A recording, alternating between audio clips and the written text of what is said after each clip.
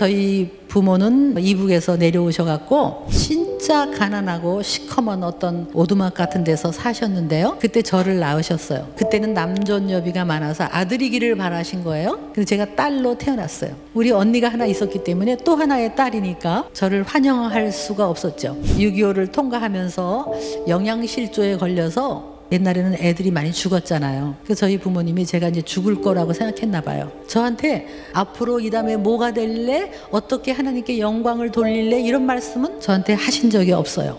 이런 말은 하셨어요. 스무 살을 넘길래나. 저는 살면서 희망 이런 건 없었어요. 나를 지으신 창조주 하나님 그분을 알고 그분을 만난 다음에 내 인생이 눈이 떠지기 시작했어요. 천 지를 창조하시고 나를 지으신 엘로힘을 믿으면 절대로 우리는 함부로 살 수가 없습니다. 창세기 1장 1절에 태초에 엘로힘이 천지를 창조하셨다.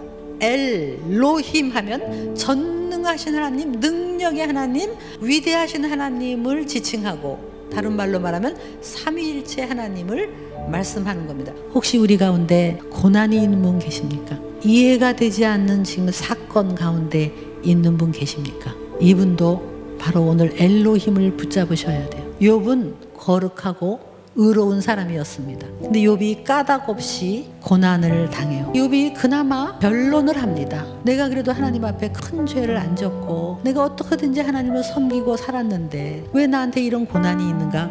마지막 변론을 해요. 근데 친구들은 와가지고 계속 공격을 해요. 그래도 그냥 조그만 목소리로 자기를 변론하는 거예요. 그래도 나는 하나님을 의지하고 살았다. 니들은 죄가 없냐? 이러면서 자기 변론을 해요. 근데 맨 마지막에 하나님이 나타나서요. 이해되지 않는 사건 가운데 자기 변론을 했던 욥한테 하나님은 다른 말 안 하십니다. 내가 땅에 기초를 놓을 때 너 어디 있었냐? 네 머리로 네 고난의 이유를 설명하려고 하지 마라. 그때 욥이 마지막으로 얘기합니다. 제가 무지한 말로 이치를 가렸습니다. 깨닫지도 못하면서 그렇게 말했습니다. 나를 용서하십시오. 여러분 고난 속에서도 이해되지 않아도 여러분 우리가 선포할 말씀은 나를 분명히 이 땅에 태어나게 하신 엘로힘 목적이 있으셔서 영광 받으시기 위해서 태어나게 하신 엘로힘 그분을 붙잡으십시오. 그분을 의뢰하십시오. 그분 앞에 겸손하십시오. 그분은 창조주이시고 나는 피조물입니다. 그리고 그분께 영광을 돌리십시오.